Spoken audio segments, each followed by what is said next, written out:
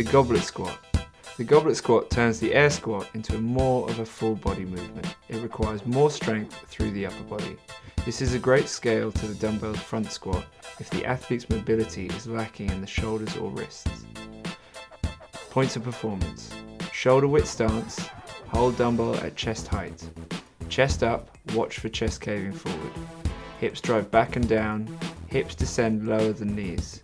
Heels down, lumbar curve maintained. Knees in line with toes, complete full hip and knee extension. Common faults. Major fault, hinging forward.